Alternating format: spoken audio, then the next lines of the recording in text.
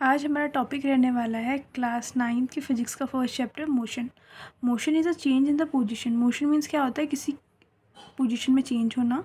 इसको हम ऐसे भी डिस्क्राइब कर सकते हैं। In terms of distance move और द डिस्प्लेसमेंट कितना डिस्टेंस मूव कर रखा है।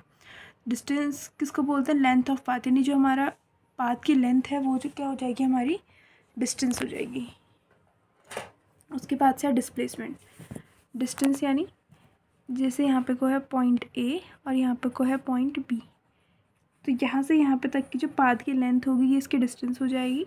डिस्प्लेसमेंट क्या होती है? Shorter distance between measure from the initial to the final position इसको हम ऐसे देख सकते हैं, जैसे अगर displacement may be zero but distance may not zero तो डिस्प्लेसमेंट ज़ीरो हो सकती है। अगर हम पहले ए से बी जाएँगे देन बी टू ए आएँगे तो यहाँ पर डिस्प्लेसमेंट कितनी हो जाएगी? ज़ीरो पर डिस्टेंस तो हमेशा होगी। अगर हम यहाँ से यहाँ पे चलेंगे तो फोर होगी और वापस भी आ रहे हैं तो फिर कितनी हो जाएगी? फोर प्लस एट उसके बाद uniform motion and non uniform motion uniform motion क्या होता है?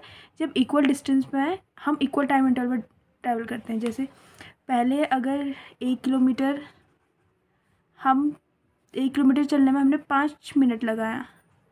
अगले में भी एक किलोमीटर में हम कितने मिनट लगाएँगे पाँच मिनट आएँगे तो equal time interval and equal distance uniform में क्या होगा? एक बार तो हम एक किलोमीटर चले पाँच मिनट में, फिर हम एक किलोमीटर चल के छः मिनट में। तो अनइक्वल टाइम तो ये हो जाएगा नॉन यूनिफॉर्म एवरेज स्पीड किसको बोलते हैं? Speed is equal to distance upon time होता है। तो एवरेज हो यानी total distance upon total time taken ये स्पीड की यूनिट है।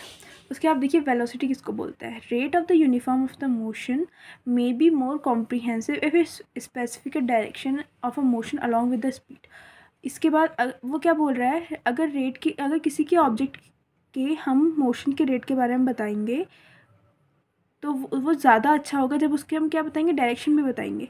तो वेलोसिटी में क्या बताते हैं हम? डायरेक्शन बताते हैं। ये एक वेक्टर क्वांटिटी भी है। Because if we specify its direction of the motion of the speed यानी स्पीड के साथ उसकी डायरेक्शन भी बता रहे हैं।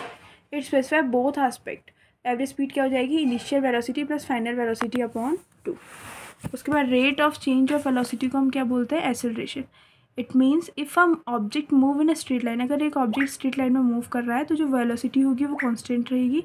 Change in the velocity of the object in time interval is zero uniform non uniform motion भी वही रहेगा। एसेलरेशन क्या हो जाता है? Change in velocity upon time तो चेंज इन वेलोसिटी क्या हो जाएगी? Final velocity minus initial velocity upon time ये मीटर में है और सेकेंड इनवर्स तो ये वही लिखा रखा है।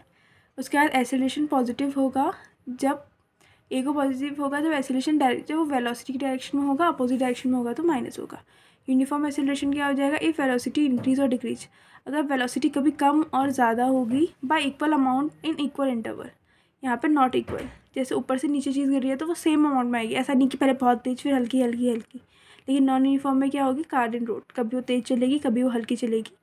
तो ये था हमारा टॉपिक क्लास नाइन्थ का। फ़र्स्ट टॉपिक जो चैप्टर है मोशन एन में, उसके नोट्स हैं।